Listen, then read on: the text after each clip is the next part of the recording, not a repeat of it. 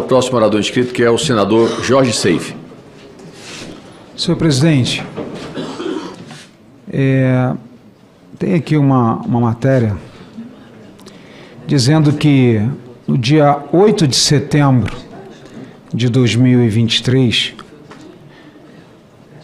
um ministro do Supremo Tribunal Federal, acusado aqui de ultra-bolsonarista, não sei o quê, e esses adjetivos que utilizo, de ter impedido servidores de ir à CPMI, à CPI da, do MST. E, eu queria saber com o senhor, perguntar ao senhor, se podemos, nós da oposição, fazer uma convocação para o Marcelo Odebrecht vir aqui falar da lista dos codinomes do Departamento de Propina.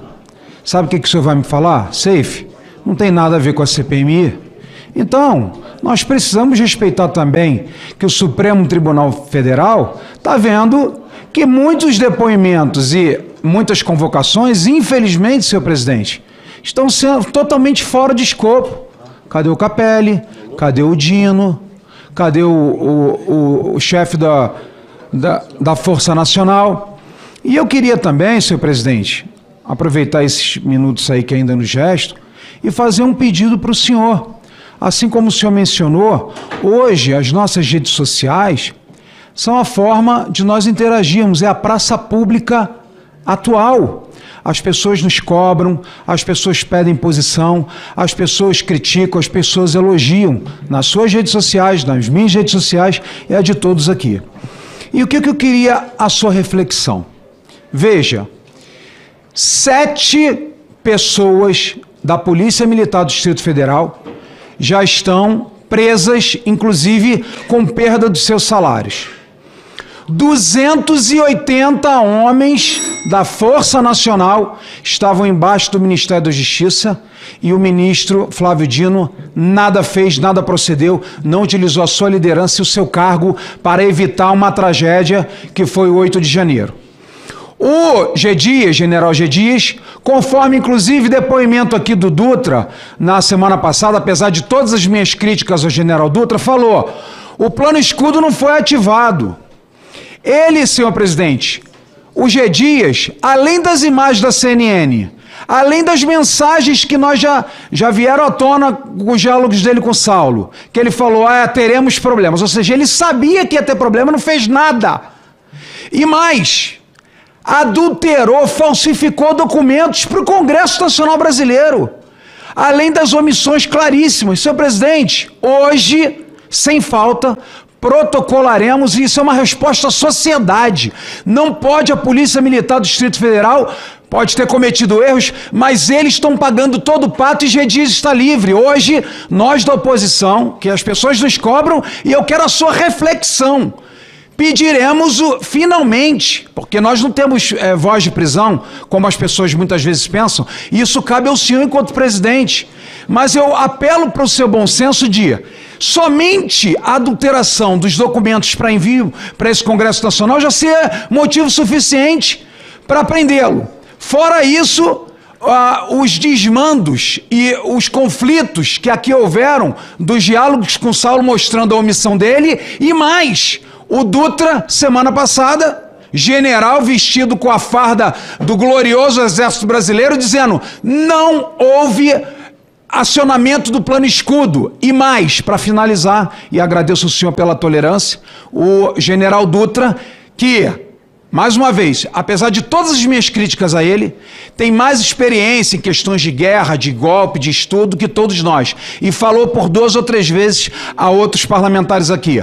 Não pode ser considerado golpe de Estado sem liderança sem que o presidente da República tivesse sentado e sem armas de fogo. Então, senhor presidente, eu peço hoje, nós da oposição pediremos hoje a prisão finalmente do G. Dias para mostrar um pouco de coerência contra o que está acontecendo com a polícia é, versus o ministro da Justiça que não mandou as imagens até hoje, vergonhosamente, e o que o G. Dias fez já comprovadamente mentindo, adulterando, falsificando documentos. Muito obrigado. Deputado, é, senador Seife, só para ficar claro, na, na fala do senhor, o senhor disse que eu tinha de, o poder para prender o ministro Flávio Dino, foi o que eu entendi. o G Dias. É, o G Dias poderia ser preso em flagrante de delito aqui se ele mentisse. Né? Isso não foi identificado durante seu depoimento. Ele respondeu da forma que ele achou conveniente, mas objetivamente não foi constatada nenhuma, nenhuma mentira que justificasse a sua prisão em flagrante de delito. Então, eu não teria como fazer essa prisão sob pena de estar sendo acusado de abuso de autoridade. Como o senhor sabe, outros depoentes também estiveram aqui. A, o governo solicitou que eu de, de, determinasse a prisão, também alegando que haveria é, nas suas colocações essa condição. Foi o caso que eu me lembro, por exemplo, muito, muito bem é, Vasques. O, o, do Vasques e do mais do Vasques, do, Lau, do Lauande. Do Lauande. Quando ele disse que aquelas mensagens que ele havia trocado com o Cid eram mensagens que, que, em que ele, na verdade, pedia que o presidente Bolsonaro desse uma palavra desse uma palavra para acalmar as pessoas e desfazer os acampamentos. Aquilo evidenciava uma mentira. Eu, que nunca estudei como é que se avalia provas, me levantei e me dirigi ao único aqui que entre nós que estudou este assunto com profundidade, que é o senador Sérgio Moro, que é um ex-magistrado. E o senador Sérgio Moro me disse: Olha, Arthur, eu acho que seria um exagero determinar a prisão dele nessas condições. Não foi isso, senador? Naquele momento da fala do Lawande. Né?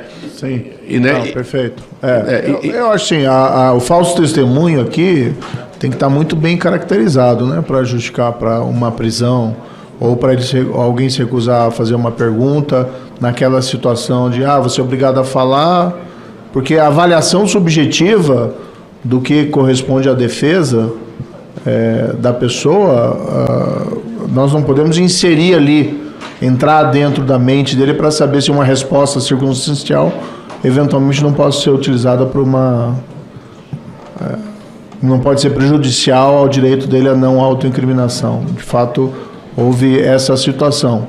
Mas assim, só acompanho aqui no caso o senador Seif, não na questão da prisão, mas é, um fato que foi destacado aqui pelo senador Isalci, que me parece bastante grave, foi a constatação de que o senador, uh, desculpe, que o general G. Dias forneceu o aparelho de celular, foi extrair as mensagens e depois nós verificamos que ele apagou as mensagens que eram relacionadas aí ao dia 8, inclusive as mensagens que eh, nós obtivemos através do aparelho do Saulo Cunha, creio que isso tem que ser objeto do relatório da CPMI, que é um caso de obstrução da justiça. Muito obrigado. Senhor presidente, não mais que 30 segundos. Eu creio que é de interesse de todos, seja governista ou seja oposição, fazer uma cariação aqui de G. Dias, Saulo, Dutra e Penteado, que nós teremos a outra oportunidade, outra só de falsificar documento para o Congresso Nacional, senhor presidente, já é motivo suficiente. Quanto mais dizer que ativou o plano escudo, recebeu mensagens, apagou mensagens e não ativou. E mais, o, infelizmente, o ministro é, Dino, que se esconde atrás de membros da CPMI e até hoje não enviou as imagens para nós em total desrespeito a cada um de nós parlamentares. Veja bem, em relação à questão do celular do G Dias, eu não tenho aqui nenhuma, nenhuma, nenhum motivo para defender o general G. Dias. Nem o conheço. A única vez que eu tive com o general G. Dias foi aquele dia que ele sentou aqui para prestar o seu depoimento. Entretanto, ele foi solicitado pelo senador Exalci se ele, independente de um requerimento aprovado pelo plenário da CPMI, concordava em entregar o celular dele. Ele entregou.